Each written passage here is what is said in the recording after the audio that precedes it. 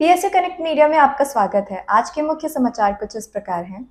UIDAI और IIT Bombay मिलकर विकसित करेंगे टचलेस बायोमेट्रिक सिस्टम भारतीय विशिष्ट पहचान प्राधिकरण यूआईडीएआई ने भारतीय प्रौद्योगिकी संस्थान बॉम्बे आईआईटी बॉम्बे के साथ एक समझौता ज्ञापन पर हस्ताक्षर किया है।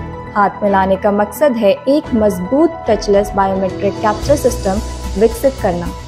समझौता ज्ञापन के हिस्से के रूप में UIDAI और आईआईटी बॉम्बे कैप्चर सिस्टम से जुड़े लाइवनेस मॉडल के साथ फिंगरप्रिंट के लिए एक मोबाइल कैप्चर सिस्टम बनाने के लिए संयुक्त रूप से अनुसंधान करेंगे।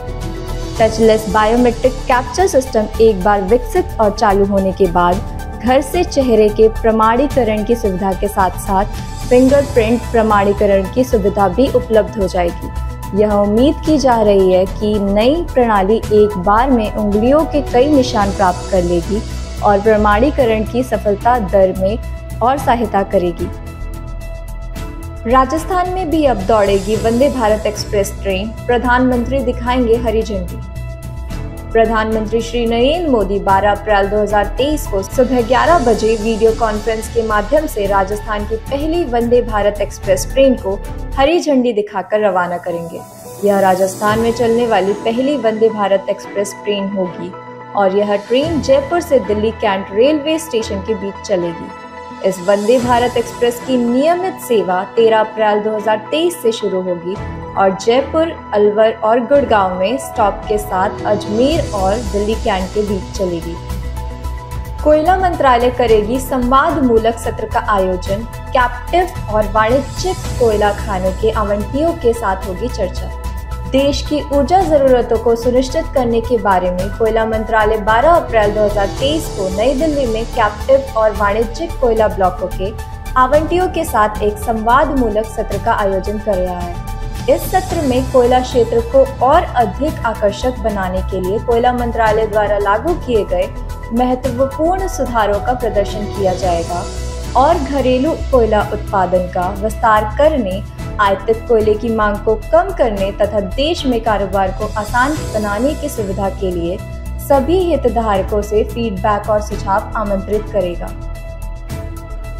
जीआरएससी ने वित्त वर्ष 2022-23 के लिए दिया तिरसठ करोड़ रुपए का अंतरिम लाभांश। भारत सरकार को सौंपा लाभांश cheque garden reach ship builders and engineers limited GRSC एक मिनी रत्न श्रेणी एक की रक्षा पीएसयू और भारत की एक प्रमुख युद्धपोत निर्माण कंपनी है।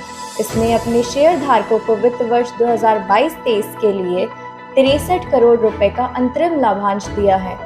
और छियालीस दशमलव तिरानवे करोड़ रुपए का अंतरिम लाभांश चेक माननीय रक्षा मंत्री श्री राजनाथ सिंह को commodore P R Hari IN सेवानिवृत्त जीआरएससी लिमिटेड कोलकाता के अध्यक्ष और प्रबंध निर्देशक द्वारा नई दिल्ली में सौंपा गया।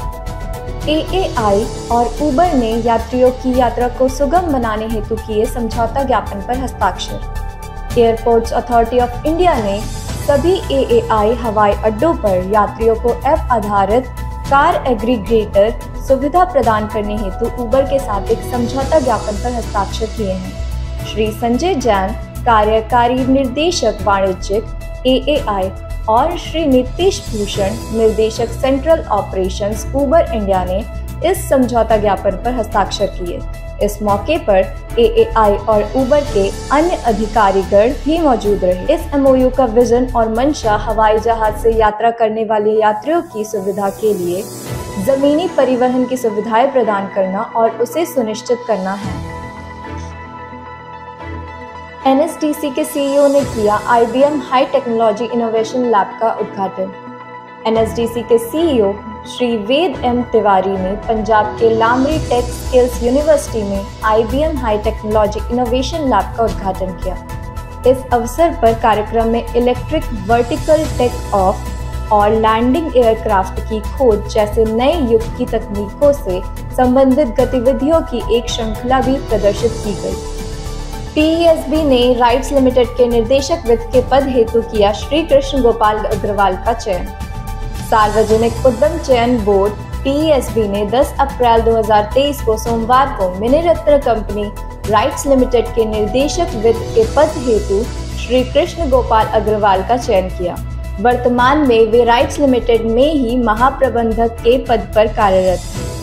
रोज़गार मेले के तहत सरकारी विभागों और संगठनों में भर्ती हुए इकहत्तर हज़ार नव नियुक्त कर्मियों को नियुक्ति पत्र देंगे पीएम।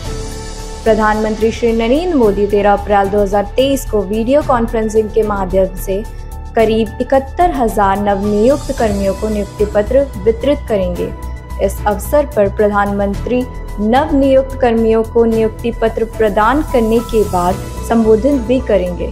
यह रोज़गार मेला, रोज़गार सृजन को सर्वोच्च प्राथमिकता देने की, प्रधानमंत्री की प्रतिबद्धता को पूरा करने की दिशा में एक कदम है। ऐसी ही तमाम खबरों के लिए हमारे साथ जुड़े रहें। चैनल को सब्सक्राइब करना ना भूलें तथा वीडियो को लाइक और शेयर ज़रूर करें। Thank you